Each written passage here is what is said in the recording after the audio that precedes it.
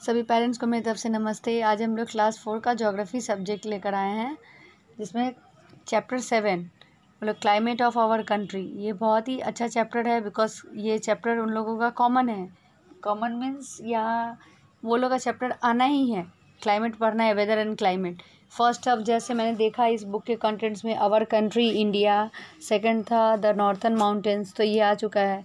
तो ये northern plains great Indian desert ये सब एक्सेप्ट किया भी जा सकता है बट सेवन है क्लाइमेट ऑफ़ आवर कंट्री या natural resources they are very important chapter तो now let's be started chapter number seven climate of our country इसमें भी उन लोग का है क्लास फोर के बच्चे हैं तो स्पेलिंग वो खुद ही करेंगे मेंटेन ऐसे ब्लॉग्स बनाना है। यहाँ मैंने ब्लॉग्स बनाया है, ये जस्ट अभी फ़िलहाल के लिए तुम लोग को ऐसे रीड करना है बट बाद में मैं वेदर और क्लाइमेट का डेफिनेशन यहाँ अच्छा नहीं दिया हुआ है। अच्छा मीन्स क्या? पर्टिकुलर वो डेफिनेशन नहीं है।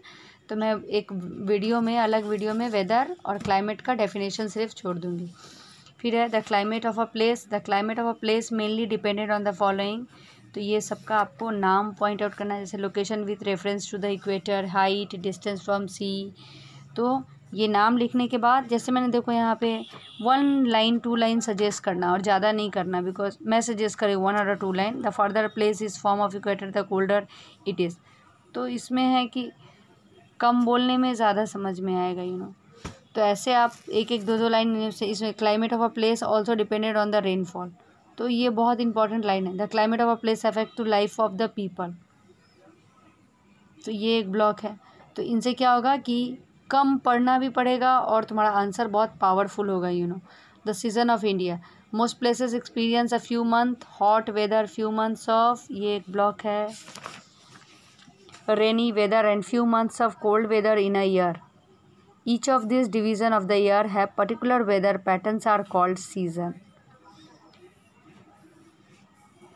season का भी यहाँ डेफिनेशन जो है वो बहुत बड़ा करके है. तो एक काम करते हैं हम लोग सीज़न का भी डेफिनेशन मैं बाद में शॉर्ट थोड़ा करके और उस वीडियो में डाल दूँगी। That mean climate weather and season इसके बाद यहाँ है another point three main season and experience in India summer monsoon and winter ये आपको यहीं से बस विंटर तक ही बट ये अलग एक लाइन है तो ये एक अलग ब्लॉक है।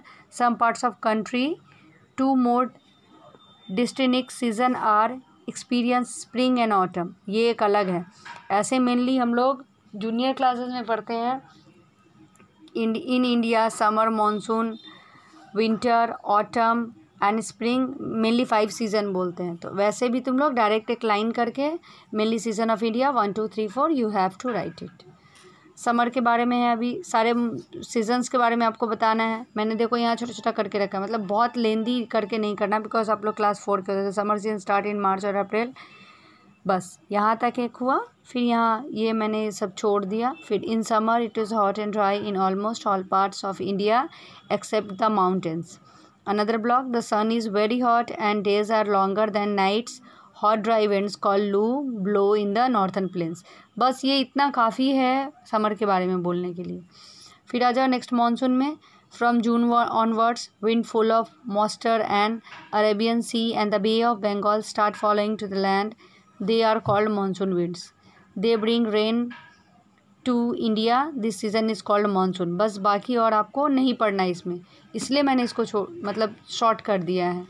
जैसे विंटर में from October onwards it started that's it second block the days start become shorter and night longer January is coldest month तो इसमें क्या हो गया? ये छोटा छोटा थ्री लाइन्स है, पर आपका कंप्लीट विंटर के बारे में इन्फॉर्मेशन पता चल रहा है। Winter are very cold in Himalayas many place have snowfall तो ये सभी मतलब जानते हैं, इसलिए ये लिखना ज़रूरी है। फिर आते हैं हम लोग नेक्स्ट में। देखो the climate of place affected by location attitude distance from the sea and relief there for a we experience regional difference in the climate of India Jaisalmer and Bikaner Rajasthan are very hot तो इस में बस आपको इतना ही blogs पढ़ना है।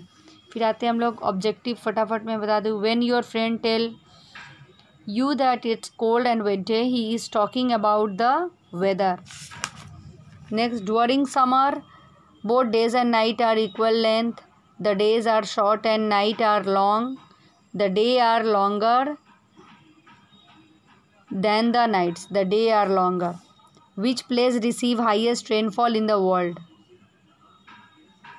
Mizoram which of the following factors affected in climate of India location physiography monsoon wind now fill in the blanks the location of a place help is determining the climate of the place second the farther place is from equator E Q U A T E R इसलिए मैंने spelling बोल दिया था coldest is accepted to be number third is when you talk of the weather condition throughout the year you are talking of the climate.